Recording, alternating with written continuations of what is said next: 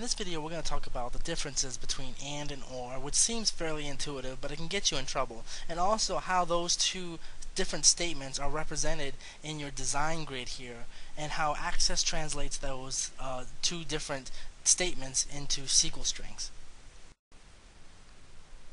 I can put a criteria in my design grid here where it says age, I can say the age has to be 27 for the results to come back. If I put another criteria here that says black, that means that the age has to be 27 and the hair color has to be black. And if I put the view here to SQL view, you'll notice here that Access has already built a SQL statement that's basically translated my graphical uh, query building interface into machine language or uh, a SQL string.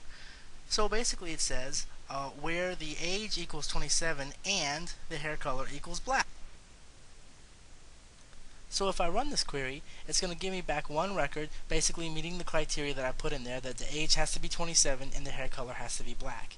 Now if I go back to the design view, I have a second row here that basically acts as an OR statement. And every single row that I've got in my query grid acts as a separate OR statement here.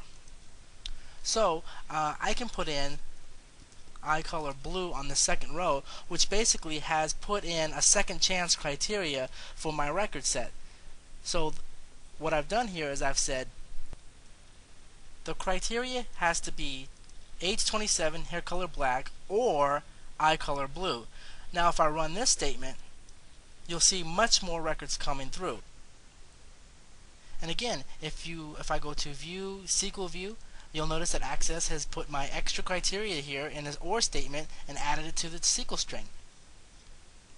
So as you can see, what Access does is it takes your uh, query grid that's basically built for you as a human being that can look at this stuff and make sense of it fairly easily, and it takes what you've done here and translates it into uh, a SQL string, a language that Access can look at and uh, translate.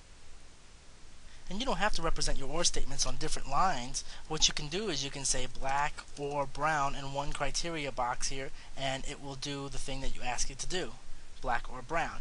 Uh, one thing that you have to be careful though is when do you use and and when do you use or. If I put black and brown, it's going to give me no data. That's because there are no records that actually have a hair color of black and brown. They're either black or brown. Here's another example of how using the wrong statement can get you in trouble here. Uh, I'm going to put in a criteria that says not equals to uh, black okay? And that'll give me every hair color that is not going to be black okay? And now if I put in or not equal to brown which a lot of people make this mistake is basically I'm expecting to say give me every hair color that's not black or not brown. So if I run this though it's going to give me everything including the ones that are black and the hair colors that are brown. So what happened? Well if I say that I want everything not equal to black or not equal to brown, they're going to cancel out each other because black is not equal to brown and brown is not equal to black. So what I have to do here is put the AND statement, not the OR statement here. And if I press the run query, now I've got everything not equal to black and brown. So just to recap, this query grid allows us to quickly and easily build access queries without actually having to worry about the SQL string in the background.